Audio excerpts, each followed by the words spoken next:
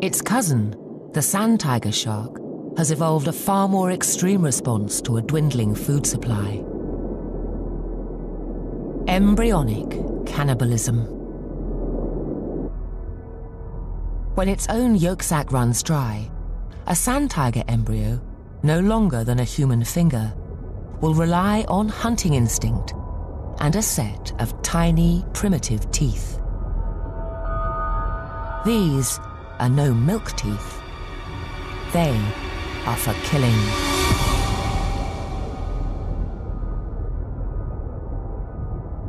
Sand tigers produce one or two embryos every day.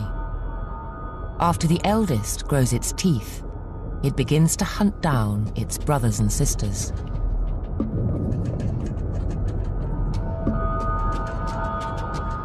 Although blind, the shark can sense his younger siblings. Before they can pose a threat, it's time for a series of preemptive strikes.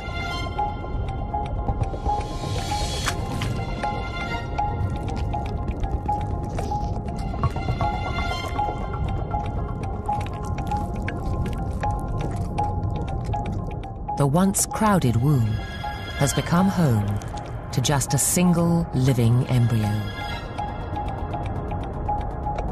Now there's food aplenty. It can gorge at will on their yolks and their remains.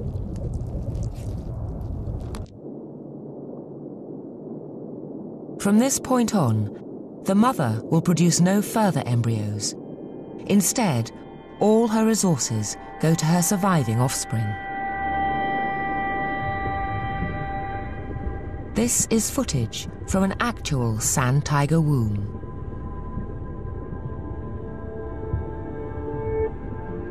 The mother continues to produce unfertilized eggs for her maturing embryo to eat.